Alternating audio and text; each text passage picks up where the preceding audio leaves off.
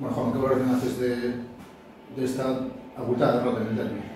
La valoración es, es negativa ¿no? por, por los puntos y, y por la sensación de, del segundo tiempo. ¿no? Creo que ese sentido es, es negativa. Hay que, eso, como máximo responsable, me, me responsabilizo de, de esa situación de, del segundo tiempo, ¿no? un pouco que no, no acabamos de, de encontrar sobre todo el ritmo mental de, del partido, de esa exigencia y un pouco eso de autocrítica personal y nada más, eh, es decir, no hay, no hay que buscar excusas en, en ese sentido, hemos, hemos perdido porque nosotros no hemos puesto todo lo que teníamos que poner en ese nivel de concentración y sabíamos que iba a ser un partido igualado y pues eso, tal vez en, en alguna decisión personal me puedo haber engañado, asumo esa, esa responsabilidad, pero también esa, esa responsabilidad a, a nivel colectivo. ¿no?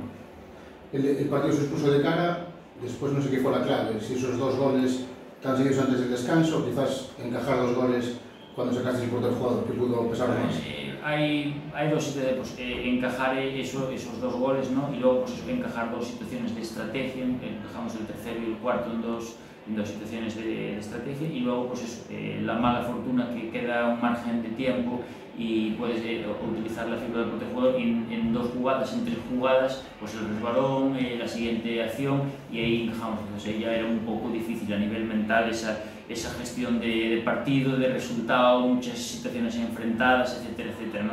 Entonces creo que esos packs, los dos primeros goles, el tercero, el cuarto y luego los, las situaciones de, de portero-jugador. No sé si piensas en ello, pero además de la derrota os vais queda con la verdad particular a favor de Gurale que puede ser importante de cara a final de temporada en una competición tan, tan igualada. No, está claro que es, es, es una cosa que todos teníamos eh, en, en, mente en el, en el banquillo, ¿no? y como te digo, eh, era el planteamiento un poco esa, esa situación con el, con el 4-2 poder recortarlo y, en esa situación de ese resbalón pues el, el 5 y luego ya el 6, ¿no?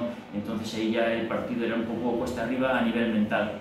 Supongo que es un golpe duro, no sé si, puede, si temes que pueda pesaros de cara a las próximas jornadas. Hombre, está claro que, que siempre duele, siempre tal, y ahí es la, la madurez que tengamos para, para digerir esa situación, saber corregir eh, aspectos que nos, han, que nos han faltado y sobre esa situación pues poder plantear crecer para el siguiente escenario que vamos a tener un partido complicado el sábado.